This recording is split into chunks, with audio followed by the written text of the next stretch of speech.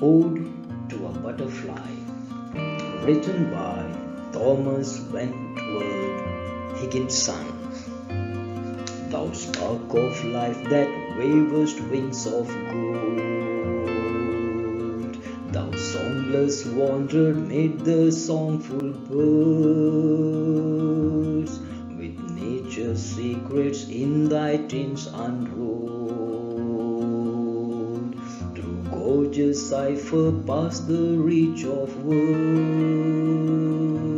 yet dear to every child, in glad pursuit beguiled, living his unspoiled days mid flowers, flocks, and herds, thou winged blossom, liberated thing. What secret tie binds thee to other flowers, still held within the garden's fostering? Will they too soar with the completed hours?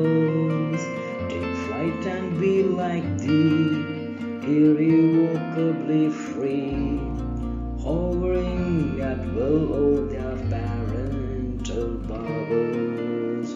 Or is thy luster drawn from heavenly hues? Sumptuous drifting fragment of the sky, caught when the sunset its last last views, with sudden splendor and the treetops high. Grasp that swift blazonry, then lend those tints to thee, only to float a few short hours and die. Birds have their nest, they rear their younger one, and flit on errands all the livelong day. Each field mouse keeps the homestead whence it sprung. But thou art nature's free man, free to stray, unfettered through the wood, seeking thine hairy food, the sweetness spiced on every blossom spray. The garden one wide banquet spreads for thee. O daintiest reveler of the joyous earth, one drop of honey gives satiety. Second draught would drag thee past all mirth. Thy feast no orgy shows, thy calm eyes never close.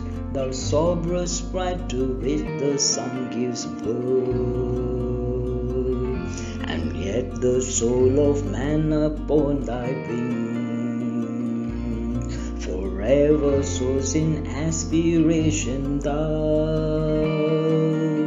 his emblem of the new career that springs when death's arrest bids all his spirit bow. He seeks his hope in thee of immortality, symbol of life me with such faith endowed. Ode to a Butterfly, written by Thomas Wentworth Higginson.